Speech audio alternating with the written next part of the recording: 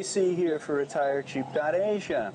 I have one of my members from our membership site who's made a trip over to Thailand, and uh, we're going to do a little interview with him.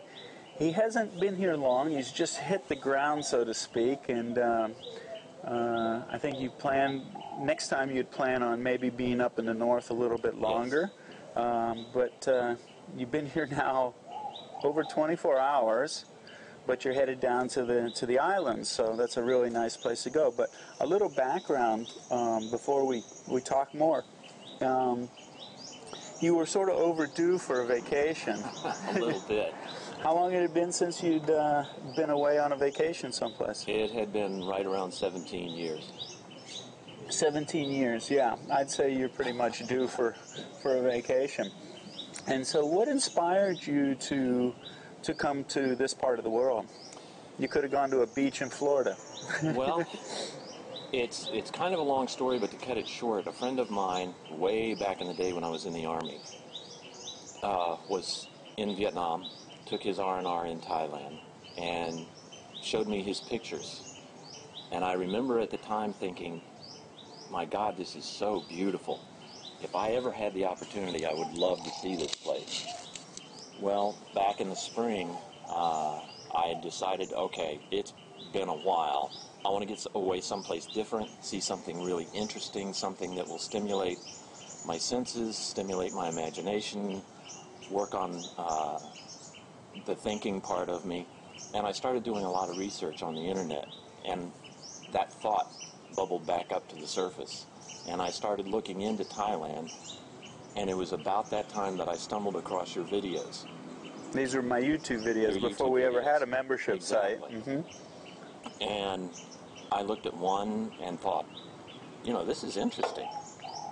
And then a couple more, and I started thinking, is this guy really on the level? Can this be possible? and uh, the more research I did, the more supporting background information I found that said, yeah, actually, you really can live this kind of a lifestyle mm-hmm. on this kind of a budget mm-hmm. in Thailand. And I'm a tad skeptical. And so I decided, okay, if this is real, it will hold up to scrutiny. Yeah. So I want to go over and see for myself. Cool. And that's when I began to plan in earnest Yeah. and decided, okay, I want to see Chiang Mai to see, I guess more or less the, the everyday life mm-hmm. in Thailand. But then I want a vacation too, so Yeah. I wanted to see Phuket Yeah. and just relax, kick back, and just chill. Mm-hmm. So I plan. I, in hindsight, I didn't allow anywhere near enough time for Chiang Mai. Yeah. That'll be corrected on the next trip. Now you've been in Chiang Mai. Now you didn't get a you, you got to do some of the things that are really cool to do here. Right. You know, some people would consider them tourist kind of things, Mm-hmm. but they're really cool, and it's something you can't do back home. Uh, we have something called the Flight of the Gibbon, which is, um, if you're familiar, with like ropes courses and zip lines and things like that. Up in the forest canopy, Mm-hmm. they have the zip line going through there, and so you did that yesterday. What a blast! Yeah, yeah, I hear that. I haven't been out to do it, but uh, I hear it's really nice. Now, uh, working with uh, Tony Robbins, we used to do ropes courses uh, at some of the events, so familiar with some of these uh, some of these aspects. But to go up in the jungle canopy and do this would be very cool. Another thing you did was you went and hang, hung out and played with the tigers. Yes, That was Tiger cool, right? Kingdom is just awesome. Yeah, with liability the way it's back home, they're not going to let you like hang out and lay with the tigers and play with them. That's not going to happen back home for sure. No, no. Uh, we only get a few tourists eating every year. It's not a big deal. Um, so, Mike, um, having been in Thailand now for um, over 24 hours, but less than two days, um, the feel that you've gotten for the culture, because up in the north is what you've experienced so Right. far, the culture and the people, what is your initial um, interpretation of how it meets your expectations? Because you did do research before you came and look into it. How, how is it matching up with what you thought it would be like? Well, to be honest with you, I had some pretty high expectations because all of the videos that I looked at, all of the websites that I visited, were pretty descriptive. about what you can expect when you get here. So my expectations were pretty high, and I can say honestly that my expectations have been exceeded on uh, an exponential basis. Really? Yes. Would you like to elaborate on that a little bit? I was expecting a relaxed, laid back atmosphere, friendly, outgoing, courteous, and that's just, that doesn't even begin to scratch the surface of what you experience when you get here. The Thai people are so hospitable, mm-hmm. so generous, so accepting and tolerant mm-hmm. that it is just amazing. Mm-hmm. This is so far beyond anything that I have ever experienced in my life that, as you mentioned earlier when we chat when we were chatting, this can become addictive. Yeah, it can quick. become addictive really quick. Yeah, that's for sure. Um, one of the things is like eh, people will notice if they come over and they uh, get themselves involved in a relationship with a Thai person. Um, like if if we met, and by the way, it's nice to meet you, Funny. Put a, a face to, to who I've been communicating with.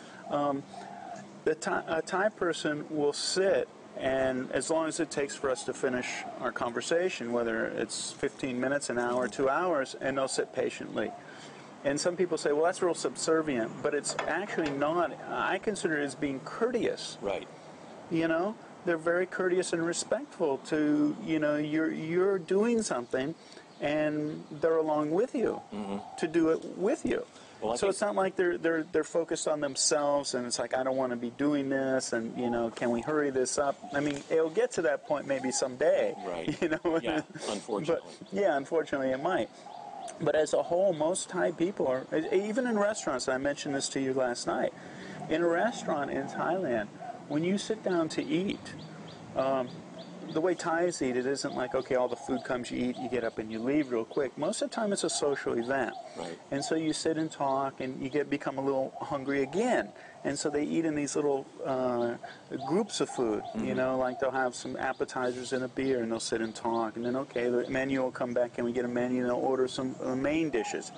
And then later on, they'll sit and have some more beers and talk. And so the food continues like that. And this is one of the reasons they never bring a check.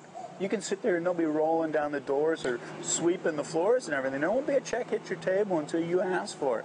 Which again, it's that they're respectful of your time and your presence, and so that's just part of the culture here, and it's it's refreshing, isn't it? It really is. And you, you mentioned us having dinner last night. And that was one of the things that really struck me was from the time we entered that restaurant until we left, there was never once uh, any hint of a feeling that, well, we really need this table. You know, could you finish up because we got other people coming in, and we, right. this is a business after all. Right. There was never any indication of that whatsoever. And any time that we wanted something, like I indicated that I wanted coffee, there was just the slightest indication that there was a need, and there was somebody right there. Mm-hmm. And it was always very gracious and very, you know, there was an, an attitude of um, appreciation. Speaking of dinner last night, five of us ate last night, and thanks uh, for, for picking up the tab for that. You know, it was it was a very nice meal. And when people come over and I meet them for the first time, I want to take them to some place that it's it's a very good atmosphere for having conversation because, as you know, a lot of the places, if you're eating outdoors, which we eat outdoors a lot without walls, it becomes a little noisy. So I took you to a place that was what I would consider very nice restaurant, um, and we sat there for I don't know almost two hours or something eating. Um, there were five of us at eight. Uh, you and I had a beer. And what was the, the total on the bill for five people? Well, since I hit the ground, I'm doing a lot of calculations in my head, translating. And the bill last night for five of us for meal, beverages, gratuity, everything came to 850 baht. which 850 is baht.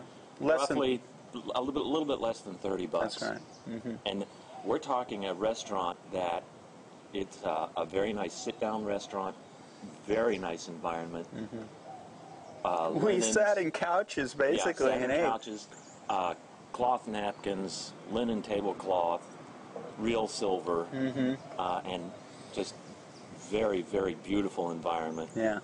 And I was telling a couple of the people that we were with last night that in America, had we done that, you, there's no way we would have gotten out of there for less than what 150 bucks. Yeah, no kidding. Yeah. hmm Yeah. Well, it's yeah, you, you you've experienced a little bit since you've been here. Excuse me. And um, about the graciousness of the people, uh, the cost of things.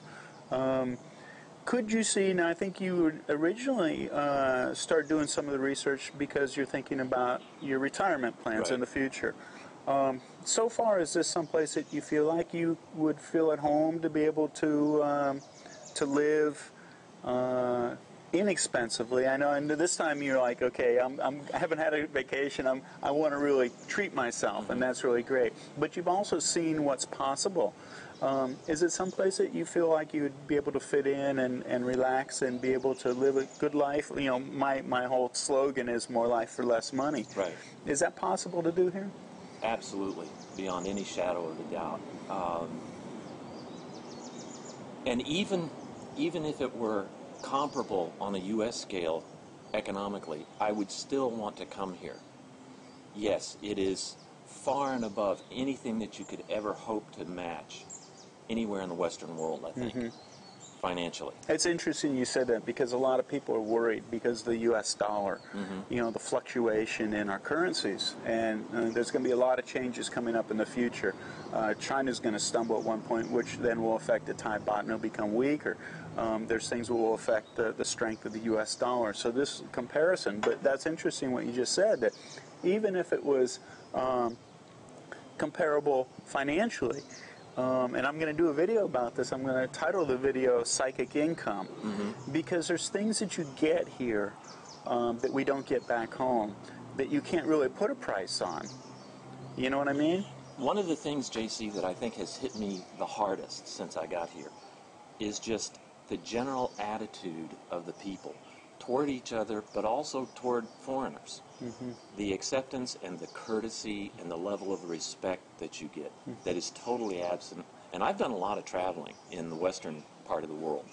Uh, I, I'm a truck driver, so I have been all over the U.S., all 48 contiguous states, every major city. I've been to Mexico, Canada, all throughout the Caribbean, Venezuela, and I have never seen anything like this anywhere. Hmm. And I'm assuming that it holds up throughout, not just uh, Thailand, but through most of Southeast Asia, from what I've been able to It does to a certain degree. The reason, one of the reasons I spend most of my time in the northern part of Thailand, I've lived in a few places in the north, is because of the Lanna culture. And uh, the Lanna culture included uh, a certain set of values and rules that are sort of different than other areas. Okay. In fact, you'll see that they still wear some of the traditional outfits. In fact, somebody we were with last night, I was sort of shocked. They said they wanted to go shopping. They're not from Chiang Mai per se, but they wanted to go to the market to buy some of the traditional uh, clothing of the North. Um, it, it carries with it something a little bit different, and you'll experience this as you go further south. Um, the, the, the attitude changes a little bit. it's still 100% better than what it is back home, but you'll notice, and the heat has something to do with that. Right. Being from the southeastern United States, the heat in summer is oppressive to a certain degree, and it's um, you know you become lethargic. You got to stay out of the heat and stuff, and I think it, it affects the attitude of the people as well.